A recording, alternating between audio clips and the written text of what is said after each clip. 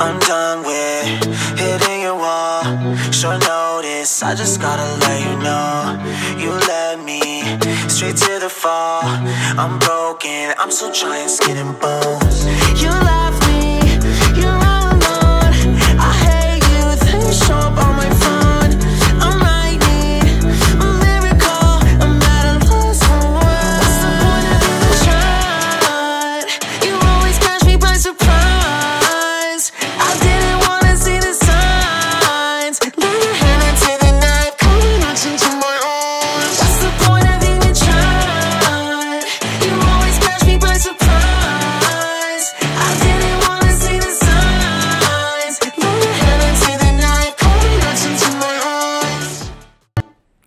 hey guys நான் கார்த்திக். இன்றைக்கி நம்ம சேனலில் ரொம்ப ரொம்ப வித்தியாசமான ஒரு ப்ராஜெக்ட் பற்றி பார்க்க போகிறோம் ஃபஸ்ட் டைமாக நான் கோல்டு ஃப்ளேக்ஸ் ட்ரை பண்ணேன் ஒரு கஸ்டமரோட ப்ராஜெக்ட்டில் இதுக்குமே சும்மா விளையாட்டுத்தனமா அப்பப்போ பண்ணி பார்த்துருக்கேன் பட் ஒரு கிளைண்ட்டுக்குன்னு பண்ணது இதான் first time so first gold flake என்ன சொல்லிடுறேன்? கோல்டு ஃப்ளேக் வழக்கமாக பெயிண்ட் லிக்விட் ஃபார்மில் இருக்குல்ல அந்த மாதிரி இல்லாமல் சாலிட் ஃபார்மில் ஒரு பவுடராக இருக்கும். ஒரு ஜிகினா மாதிரி இருக்குன்னு வச்சுக்கோங்களேன். அதை வந்து நம்ம கிளியர் கோட்டில் மிக்ஸ் பண்ணி எந்த பேஸ் மேல் அடிக்கிறோமோ அதை பொறுத்து அது வேறு வேறு மாதிரி ரியாக்ட் ஆகும். எக்ஸாம்பிள் இது வந்து சேம் கலர் மெத்தட் ஏதாச்சும் இப்போ நம்ம கோல்டு ஃப்ளேக் அடிக்க போகிறோம் ஸோ அதுக்கு இது கோல்டு பேஸ் அடிக்கிறோம். Um, இது வந்து இப்போ நம்ம கோல்டு அடிக்கிறோம்னு வச்சுக்கோங்களேன் வெறும் அதை ஒயிட் கலரில் அடித்தோம்னா அது சரியாக சுத்தமாக தெரியாது. பிளாக் மேல் அடித்தோம்னா ரொம்ப பயங்கரமாக தெரியும். ஸோ அந்த கோல்டை நேச்சுரலாக கொண்டு வரதுக்கு அந்த அதே கலரில் நம்ம கோல்டு பெயிண்ட் உருவாக்கி அந்த பெயிண்ட் வந்து பேஸ் கோட்டை அப்ளை பண்ணி இதுக்கு மேலே கிளியர் கோட்டில் அந்த இது கோல்டு ஃப்ளேக்ஸை மிக்ஸ் பண்ணி அது வந்து ஃபுல்லாக த்ரீ ஃபோர் கோர்ஸ் நம்ம இஷ்டம் தான் அது எல்லாமே. இது கஷ்டம் போகிறதுனால முழுக்க முழுக்க நம்ம இஷ்டம் தான் நம்ம என்ன என்ன எதிர்பார்க்குறோமோ அந்த கோல்டு இன்டென்சிட்டி எந்தளவுக்கு இருக்கு எதிர்பார்க்குறோமோ அதை பொறுத்து நம்ம அப்ளை பண்ணிடணும். ஸோ இப்போ நீங்கள் பார்த்துருக்கிறது கோல்டு பேஸ் கோட் இது வந்து எந்த கோல்டு ஃப்ளேக்கும் கிடையாது. நம்ம வழக்கமான பெயிண்ட் எப்படியோ அதே பெயிண்ட் தான் நம்ம ஒரு ஆர்டி த்ரீ ஃபிஃப்டி பைக் இருக்குது பார்த்தீங்களா அதில் கோல்டு டஸ்ட்னு ஒரு கலர் வரும். அதே கலரில் கொஞ்சம் டியூன் பண்ணி தான் ஒரு பிரான்ஸ் மிக்ஸ் பண்ணி தான் இந்த கலர் ரெடி பண்ணியிருக்கோம். இப்போ நம்ம பெயிண்ட் பண்ணியிருக்கிறது கிளியர் கோட் இந்த கிளியர் கோட்டில் தான் நம்ம கோல்டு ஃப்ளேக் வந்து மிக்ஸ் ஆகிருக்கு இதை நான் தேவைக்கேற்ற மாதிரி ஒரு ஒரு அஞ்சு கோட் கிட்ட நான் அடிச்சிருப்பேன். ஏன்னா வந்து இதை அப் அப்ளை பண்ணிவிட்டு இதுக்கு மேலே மறுபடியும் ஸ்டாண்ட் பண்ணுவோம் அதான் எம்ரி பெருசு தேய்ப்போம். தேய்ச்சி தான் அதுக்கு மேலே அடுத்த கலர் பெயிண்ட் பண்ண போகிறோம் ஸோ நமக்கு தேவைக்கு அதிகமாக நம்ம கோல்டு ஃப்ளேக்ஸ் அடிக்கிறப்ப அந்த நம்ம தேய்க்கிறப்ப கரெக்டாக வந்துடும் ஸோ அஞ்சு கோட் கிளியர் அடிச்சுட்டு ஒரு நாள் ஃபுல்லாக காஞ்சிருச்சு. அடுத்த நாள் பார்த்திங்கன்னா இந்த மாதிரி ரிசல்ட் இருக்கும்.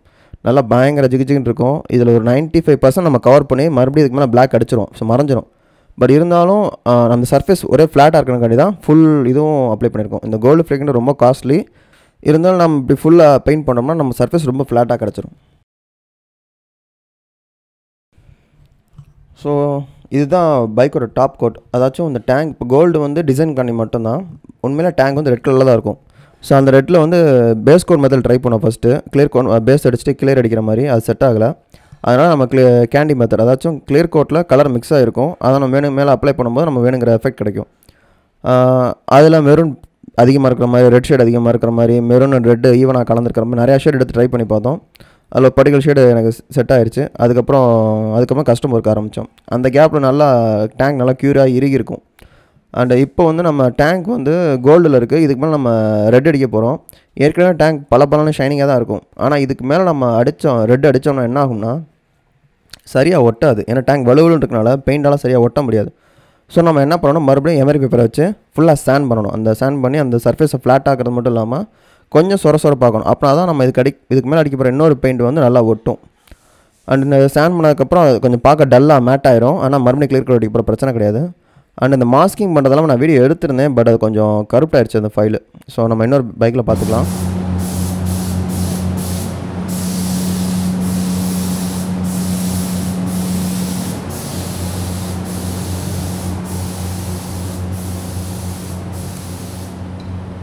ஸோ இப்போ நம்ம என்ன பண்ண ஸ்டெப் பண்ண போகிறோன்னா பிளாக் பேஸ் கோட் அதாச்சும் இப்போ நம்ம கோல்டு தேவை அதை ஃபுல்லாக நம்ம பண்ணி முடிச்சு மாஸ்கிங் வச்சு மறைச்சி சேஃப்டி பண்ணிட்டோம்.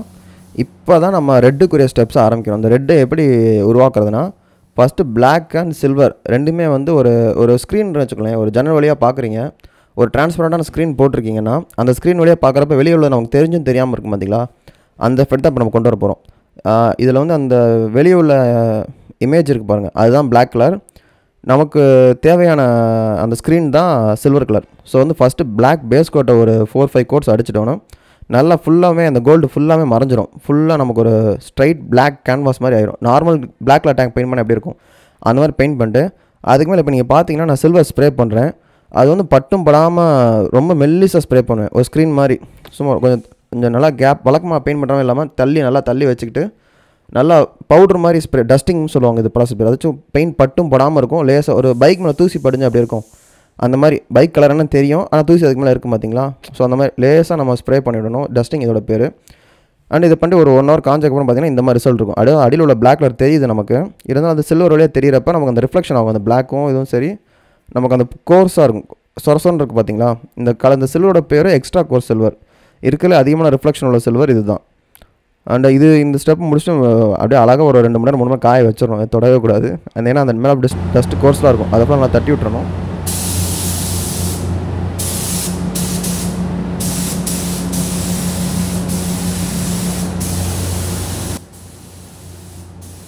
அந்த சில்வர் நல்லா காஞ்சக்கப்புறம் இப்போ தான் நான் ரெட்டு அடிக்கிறேன் ஒரு வழியாக இந்த ரெட்டு வந்து எப்படின்னா கிளியர் கோட் தான் அது. கிளியர் கோட்டில் வந்து அந்த tint red tint maroon magenta எல்லாமே மிக்ஸ் ஆகிருக்கும் இதோட பேர் தான் கேண்டின்னு சொல்லுவோம். ஸோ இப்போ கேண்டி வந்து நம்ம இப்போ பிளாக்கு அதுக்கு மேலே சில்வர் அதுக்கு மேலே நம்ம ரெட்டு அப்படி பார்க்குறப்ப இப்போ அந்த த்ரீ டி கிளாஸ்லாம் போட்டு பார்த்தா நமக்கு தெரியும் பார்த்தீங்களா அந்த அடியில் உள்ள பிளாக்கும் வந்து ரெட்டாக ரெட் ஷேடில் நமக்கு தெரியும் சில்வரும் ரெட் ஷேடில் தெரியும். இதில் சில்வர் அதிகமாக லைட்டை ரிஃப்ளெக்ட் பண்ணுறனால அது நல்லா ரெட்டாக இருக்கும். அதே நேரத்தில் பிளாக் வந்து சுத்தமாக ரிஃப்ளெக்ட் பண்ணாதனால அது ஒரு மாதிரி மெரூன் மாதிரி தெரியும். ஸோ அந்த அது ரெண்டுமே ரொம்ப மைனியூட்டாக இருக்கும் பொடி பொடுசு பொடிசாக இருக்கும். நம்ம டேங்க் தூரத்துலேருந்து பார்க்குறப்ப அது நமக்கு வந்து ஒரு ஒரு ஒரு த்ரீ டி எஃபெக்ட் மாதிரி கிடைக்கும் பார்க்குறக்கு அது அந்த அதுக்காக தான் இவ்வளோ வேலையை நம்ம பண்ணது.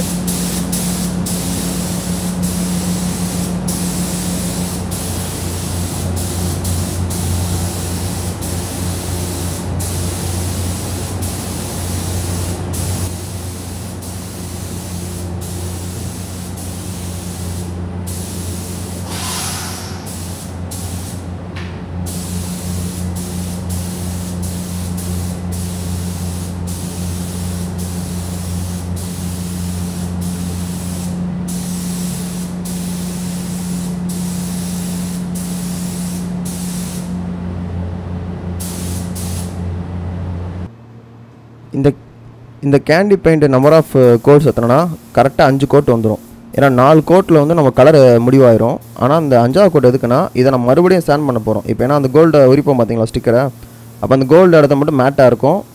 அந்த கோல்டுக்கும் ரெட்டுக்கும் வேறு வேறு உயரத்தில் இருக்கும். நம்ம நகத்தை வச்சு சுரண்டணும்னோ இல்லை வாட்டர் வாஷ் ஹெவி அடிக்கிறப்போ இல்லை ஏதாச்சும் ஸ்க்ராட்ச் விழுகிறப்போ ஈஸியாக அந்த கோல்டும் எல்லோவும் பிரிஞ்சிடும் ஸோ நம்ம அதை ரெண்டத்தையும் ஒரு லேமினேட் பண்ணுற பண்ணுறதுக்காண்டி இதுக்கு மேலே மறுபடியும் கிளியர் கோட் அடிக்கணும். அப்பயும் வழக்கம் போல தான். இதுக்கு மேலே அப்படியே அடித்தோம்னா சரியாக ஒட்டாது. ஸோ மறுபடியும் ஸ்டாண்ட் பண்ணணும். அந்த ஸ்டாண்ட் பண்ணுறக்காண்டி ஒரு கோட் எக்ஸ்ட்ராவாக அடிக்கிறோம் ஸோ மொத்தம் நாலு ப்ளஸ் ஒன்று அஞ்சு கோட்டு ரெட்டு முடிச்சுட்டு ஒரு ஒரு நாள் ஃபுல்லாக காய வெட்டுருவோம் நம்ம. காஞ்சோம்னா அடுத்த நாள் ரிசல்ட் இந்த மாதிரி இருக்கும். இதுவே பார்க்க ரொம்ப நல்லாயிருக்கும் இந்த இந்த கலரே நல்லா பர்டிகுலரே கலர் சூப்பர் கலர் நல்ல கேண்டி ஆப்பிள் ரெட்னு நினைக்கிறேன். அந்த கலரோட பேர். கேண்டி ஆப்பிள் ரெட் ஆமாம் கரெக்டாக அதுதான். கலரே நல்லா சூப்பரான கலர் இது.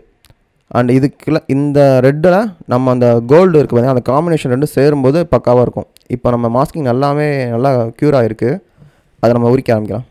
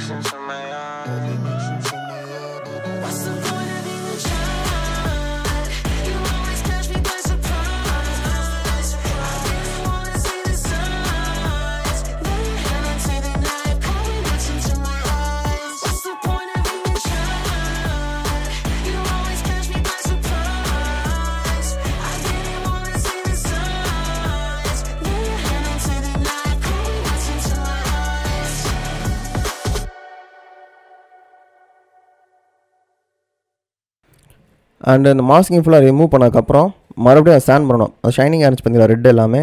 மறுபடியும் நம்ம மெமரி பேர் வச்சு நல்லா ஸ்டாண்ட் பண்ண அண்ட் இந்த ஸ்டாண்ட் பண்ணுறது இந்த இந்த ஸ்டெப்பில் கொஞ்சம் வித்தியாசமாக இருக்கும். அது வழக்கமாக நாங்கள் ஸ்டாண்ட் பண்ணும்போது ஒரு eight hundred thousand six hundred four hundred அந்த கொஞ்சம் செமி ரஃப்பான பேப்பர் தான் யூஸ் பண்ணுவோம். பட் இந்த ஸ்டேஜில் பார்த்தீங்கன்னா ரொம்ப ஃபைன் பேப்பர் அதாவது two thousand two thousand five hundred emery paper வச்சு தான் நாங்கள் ஸ்டாண்ட் பண்ணியிருப்போம் ஏன்னா அந்த கேண்டி இருக்குது பார்த்தீங்கன்னா ரொம்ப ரொம்ப ரிஸ்க்கான ஒரு கலரு ஏன்னா எங்கேயாவது சேன் ஓவராக பண்ணிட்டோம்னா அந்த ரெட்டு வந்து ரோஸாக மாறிடும் அப்படியே ஒர்க் எல்லாமே ஸ்பாயில் மறுபடியும் ஃபஸ்ட்டு வந்து பண்ணணும். அதனால் நான் ரொம்ப நைஸ் எமரேஜ் ஸ்டாண்ட் பண்ணி அண்ட் கிளியர் கோட் அதுக்கு மேலே மறுபடியும் ஒரு அஞ்சு கோட் கிளியர் ஏற்றுறோம் ஏன் அப்படின்னா அந்த ரெட் இருக்குது பார்த்தீங்களா ரெட்டு உயரமாக இருக்கும். இந்த எல்லோ வந்து ரொம்ப பள்ளத்தில் இருக்கும். ஸோ ஃபஸ்ட்டு இந்த எல்லோவில் மட்டும் நல்லா படிக்கிற மாதிரி ஒரு ஹண்ட்ரட் கோட் ஏற்றிட்டு அடுத்து ஃபுல் பைக் ஒரு ஃபைவ் கோட்ஸ் கிளியர் நல்லா டைம் ரொம்ப அதிகமாகும் இதுக்கெலாம் ஏன்னா ஒரு ஒரு கோட்டு இன்னொரு கோட் காயறதுக்கே ஒரு ஒரு நாலு நிமிஷம் மூணு நிமிஷம் அந்த மாதிரி ஆகும். அண்ட் அஞ்சு கோட் ஏற்றுறப்ப வெயிட் கூடிரும். அந்த டேங்கோட வெயிட்டே கூடிடும் ஸோ வந்து கிளியர் வந்து வலிகிறதுக்கு ரொம்ப சான்ஸ் அது. இது வெயில் காலனால நமக்கு ரொம்ப சந்தர்ப்பம் நல்லா கரெக்டாக இருக்கும் இந்த மாதிரி டைமில் டக்கு டக்கு காய் வேகமாக பண்ணலாம்.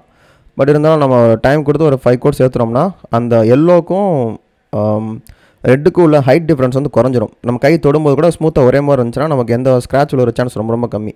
அந்த பேந்து வரும் பார்த்தீங்களா அந்த பிரச்சனையே வராது நமக்கு. அண்டு ஃபைனலாக uh, ஒரு சின்ன டிப் மாதிரி வச்சுக்கோங்க. இந்த மாதிரி கஸ்டம் ஒர்க் பண்ணுற யாராவது பண்ணிங்கனாலும் சரி கிளியர் கோட் இந்த மாதிரி நிறையா ஹெவி ஏற்றுற மாதிரி இருக்குது இதில் பாருங்களேன் கிட்டத்தட்ட ஒரு பதினஞ்சு கோட் கிளியர் ஏற்றிருப்போம் பெயிண்ட் அளவுன்னு பார்த்தீங்கன்னா கிளியர் கோட் மட்டும் ஒரு ஒரு தோராயமாக வந்து ஒரு எழுநூற்றம்பதுலேருந்து தொள்ளாயிரம் எம்எல் ஆமாம் வரும். எண்ணூற்றம்பது தொள்ளாயிரம் எம்எல் கிட்ட நான் யூஸ் பண்ணியிருப்பேன் எப்படியும்.